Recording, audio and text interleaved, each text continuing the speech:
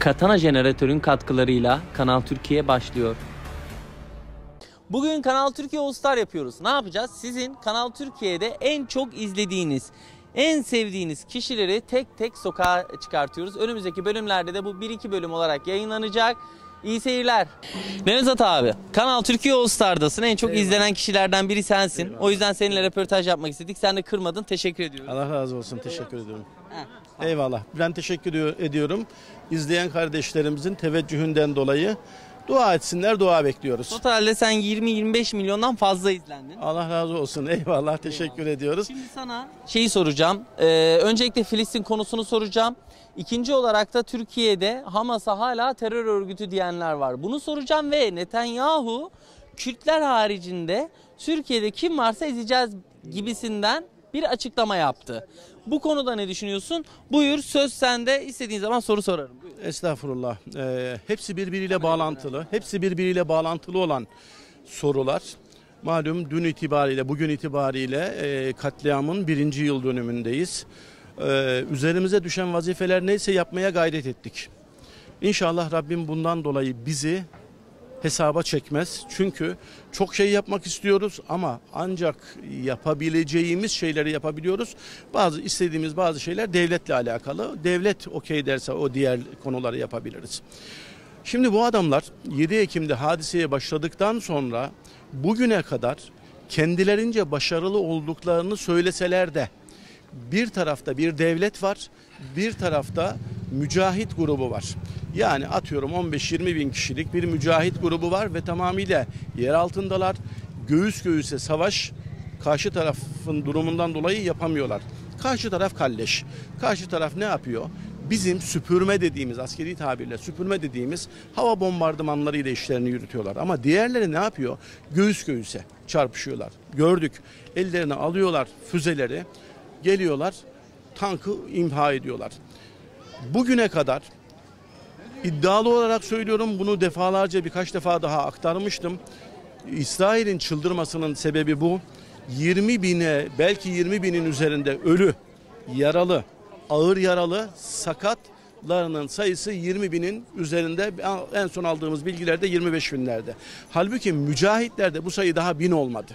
Bu korkunç derecede büyük bir başarıdır. Öbür tarafta tankı var, topu var, tüfeği var, uçağı var, füzesi var, var var var var var var. Askeri gücü kat me kat yukarılarda başarılı olamadılar. Bu savaşın galibi normal şartlarda Hamaslı yiğitlerdir. Bunu bu kadar net olarak Hamas'a terör diyorlar. Şimdi Hamas'a terörist diyen şerefsizdir bana göre. Benim düşünceme göre kahpedir, namussuzdur Hamas'a terörist diyenler. Neden? Allah razı olsun. Çünkü bir tarafta İslam'ın şerefini omuzlanmış bir mücahit grup, bir tarafta dünyayı kaosa sürükleyen, kadın ve çocuklardan başka, yaşlılardan başka hiç kimse hiç kimseyi öldürmeyen, dünyada kendilerinden başka bütün insanları böcek olarak gören, bebeklerini bile öldürün, keçilerini, hayvanlarını bile öldürün diyen bir alçak zihniyet var. Onun için Hamas'a terörist diyen İsrail'in memelerinden emen alçaklardır, namussuzlardır. Bu bu kadar net. Çok daha ağır şeyler konuşurum. İsim de vermem gerekebilir. Onun için bu da hukuka gider sıkıntı yaşarız. Hiç gerek yok bunlara. Bunlar hakkında söyleyeceklerim bu kadar. Ama Netanyahu'nun denilen vampirin geçen gün çıkıp Kürtler hariç önümüze kim çıkarsa çıksın ezer geçeriz demesinin altındaki söylemi çok iyi anlamamız lazım. Bakın dünyaya hükmetmiş en büyük devlet Osmanlı Devleti, Devleti Aliye. 633 yıl dünyaya hükmetmişiz. Bu Osmanlı Devleti'nde 3 tane ırk, 3 tane millet ana unsurdu. Kimdi? Bir, yapıcı, kurucu devlet Osmanlı Devleti. İki, Araplar Müslüman olduğu için. Üç, bin yıldır bizimle beraber olan Kürt kardeşlerimiz. Müslüman Kürt kardeşlerimiz. Şimdi kardeşim, Şerif Hüseyin denilen bir alçakla beraber Araplarla aramızı açtılar. Döneminde sadece Şerif Hüseyin denilen kahpe bize bizi arkadan vurdu. Ama onun haricinde bütün Arap Yarımadası, bütün Afrika Gençler, kıtasındaki bütün Afrika kıtasındaki herkes, bütün Müslümanlar Kurtuluş Savaşı boyunca hep bizimle beraber oldular. Müslüman Kürtler ta Bir saniye abi. Gençler Çocuklar. şu hareketleri yapmayın. Bak burada önemli bir şey konuşuyoruz yapmayın bunu. Sizi koymuyorum zaten. Müslüman Kürtler hep bizimle beraber oldular. Talas Savaşı 500 özür dilerim 751'di yanlış hatırlamıyorsun. 751'deki Talas Savaşı'ndan sonra Müslüman Araplarla Türkler beraber bu savaşa girdiler ve bu savaştan sonra Türklerin İslamlaşması başladı. Ve ondan sonra da Allah bu millete İslam'ın sancaktarlığını verdi. Bugüne kadar hala biz İslam'ın sancaktarlığını yapıyoruz elhamdülillah. Bakın 1071 yılında Alparslan Anadolu'yu e, Anadolu'yu Müslüman topraklarına kattığı zaman yanımızda kim vardı biliyor musunuz? Mervani Kürtleri vardı. Mervani Kürtleriyle beraber Alparslan savaşa girdi ve Diyojen'i tarumar ederek Anadolu'yu bize yurt yaptı. Onun haricinde 1087 yılında özür dilerim 1099 yılında Kudüs Müslümanların elinden düştükten sonra 1187 yılında Kudüs'ü kim Eyyubi. İslamlaştırdı? Selahaddin Eyyubi Hazretleri yani bir Kürt komutan Müslümanlaştırdı. Gelin Ab- e, 1516 yılına gelin. Yavuz Sultan Selim Han'ın e, Hicaz bölgesini, Mısır'ı, Şam bölgesini İslamlaştırdığı zaman yanımızda kimler vardı? İdrisi Bitlisi denilen Müslüman Kürt komutan vardı. Gelin bin- e, 1915'lere Çanakkale'ye gelin. Çanakkale'de bizim yanımızda kimler vardı? Müslüman Kürt kardeşlerim vardı. Müslüman Araplar vardı. Dolayısıyla biz Müslüman Kürt kardeşlerimiz de hani diyorlar ya etle tırnak gibiyiz. Vallahi etle tırnak gibi değiliz. DNA'larımız birbirine karışmış. Kürt olmadan Türk olmaz, Türk olmadan Kürt olmaz kardeşim. Bazı ırkçılar çıkıyor diyor ki Kürtler şöyledir böyledir. Asla ve kat'a yalan söylüyorlar. Birkaç tane ittihatçı, özellikle ittihatçı demeyeyim. Abdülhamit dönemine gidelim. Abdülhamit döneminde Van Beri denilen bir alçak istihbaratçı olarak İngiliz istihbaratçısı olarak Abdülhamit'in yanına giriyor. Kod adı nedir? Reşit Hoca. Irkçılığı bu milletin içine sokuyor. Gidiyor Araplara diyor ki oğlum diyor siz diyor askeri gücün büyük kısmını oluşturuyorsunuz. Onlar Türk onlar götürüyor. Kürtlere gidip diyor ki siz diyor askeri gücün büyük kısmını oluşturuyorsunuz ama onlar diyor yönetimde diyor. Ona Kürt şöyle, o Kürt diyor, buna Türk diyor filan derken Turan fikri ve ırkçılık fikri Osmanlı'nın içine giriyor ve 1909 yılında İttihat ve Terakki şeyi aldıktan sonra yönetimi aldıktan sonra Arapların kopuşunun ana sebebi Arapların kopuşunun ana sebebi Şerif Hüseyin denilen adama diyorlar ki bak bunlar hilafete karşı adamlar. Türkler ama karşı adamlar. Arapları bizden koparıyorlar. Geliyoruz şimdi 84 yılına. PKK denilen bir alçaklıkla bu ülkeyi bölüp parçalamak isteyen şerefsizlerin mevzusuna geliyorum. Siyonist İngiliz'in, Siyonist İsrail'in en büyük taktiği nedir? Irkçılık belasını başımıza bela ederek sen şusun busun diyerek ara, bölüp parçalayıp bizi birbirimizden ayrılmaya çalışmaları. 1984 yılında PKK denilen bir alçak terör örgütünü başımıza bela ediyorlar. Nasıl? Kürtlük hareketi diye. Halbuki her zaman söylüyorum o dönemde 85-91 arasında bölgede PKK'ya karşı gönüllü olarak savaşan ilk jandarma özel harekattaki 40 kişiden birisiyim. Kimlerim oldu sonra? Komuta ettim. Şu oldu, bu oldu falan fişmekan. Bir sürü it itlaf ettik. Ettiklerimize baktığın zaman çoğu sünnetsizdi. Ermeniydi.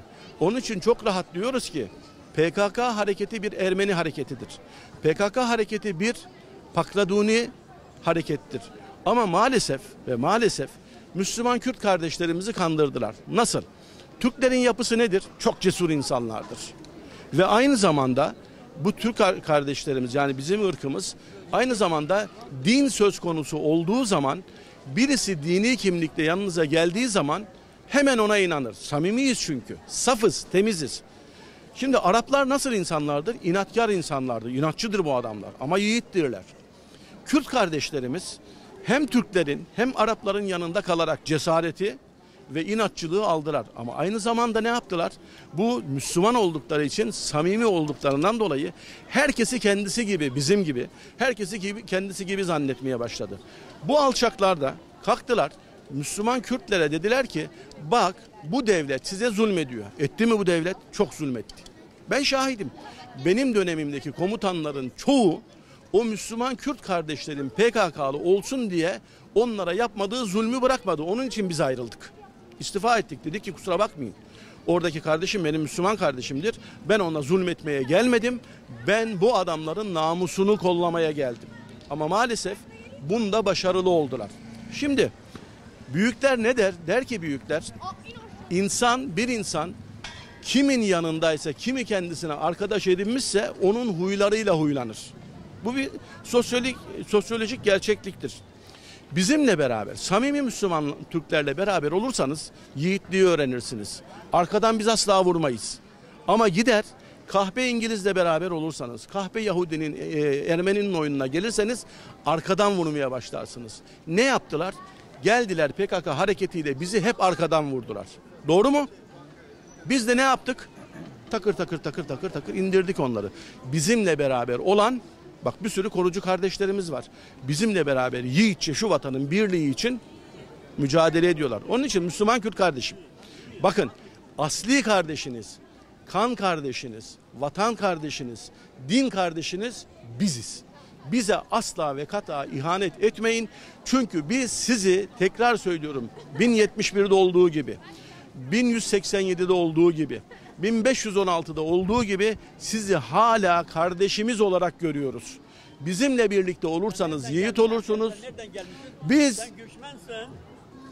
Sen bir göçmensin. devam edeyim mi?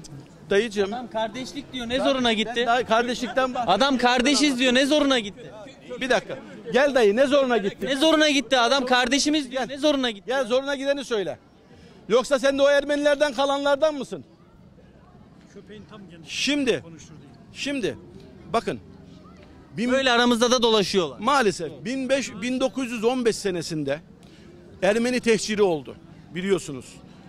Türkiye'de, Türkiye savaşırken, cephelerde savaşırken köylerde kalan kahpe Ermeniler vardı. Bizim halkımızı, vatandaşımıza tecavüz ediyordu, öldürüyordu. Bunları dönemin hükümeti tehcir yöntemiyle Türkiye'den atarken Türkiye'den gitmemek için bu kripto Ermeni dediğimiz Ermeniler şunlar bunlar ya Alevi kimliği altında kaldı bunun gibi ya Kürt kimliği altında kaldı. Bunlar asla ve katta Müslüman Kürt değildir abi. Katana Jeneratör Kanal Türkiye'yi sundu.